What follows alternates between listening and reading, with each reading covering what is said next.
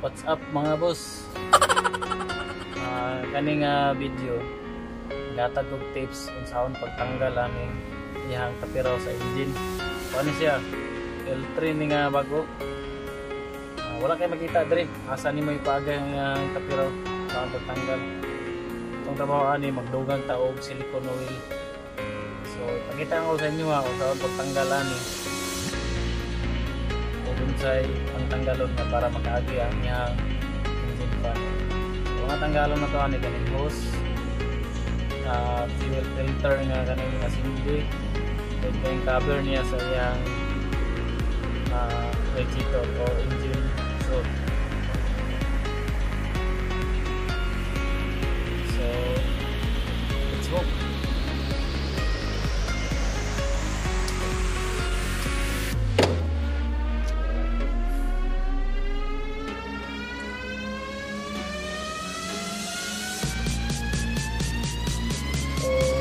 kita ninyo mga boss na kanyagas.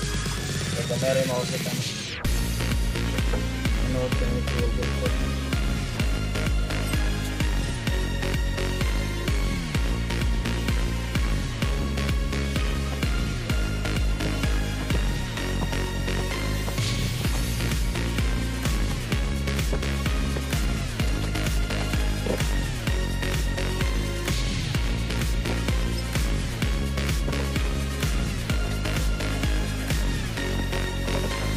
Siya ang fuel filter. Uh, kani siya pulihan. I mean po na siya pulihan na siya o fuel filter niya.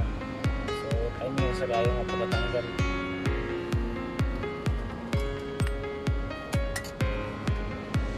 Ang tanggalan na to, ano, kani. Yan, cover sa pero So, kita na to, umat na kayo. Yan, to. Yan.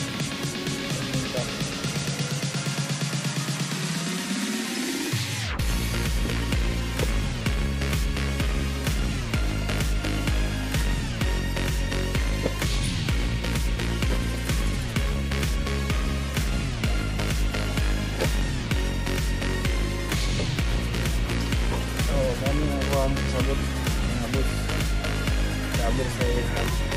Pero, ito na ito mga ito namin. Tagalog na na ito ang natural. So, natural, kalera. Post, filter, cover. Sunod bottom. Tagalog na na ito ang samihan natural. So,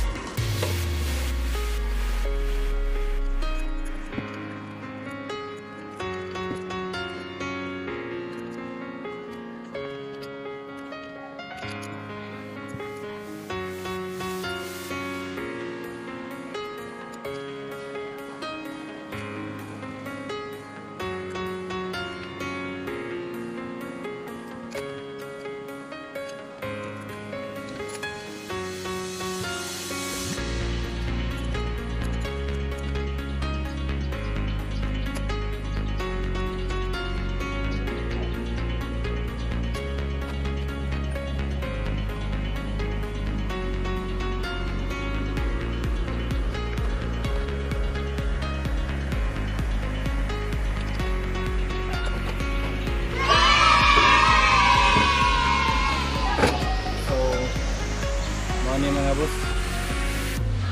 Ang ihang pagkiraw. Umok na kayo.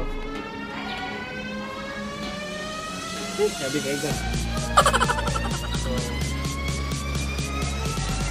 wala mo wilayan magyan. Gawas kiri. Moro niya ang yan. So, kani. Tawagan ako ng silicone. Tapos, reverse na rin ka. Kung sa imong lahi get filter sa cover. Mga may uh, So, kita na ko sa inyo ha. Kung sa uh. So, mga na yung plastara dami mga bus. So, makita na to yung radiator o light sa. Tanay mo na yung tinuluan sa kulan. So, pagbalik na niyon niya, uh, mo rin pong inanayon pasulod. Then, balik sa fuel filter. radiator hose so maura to.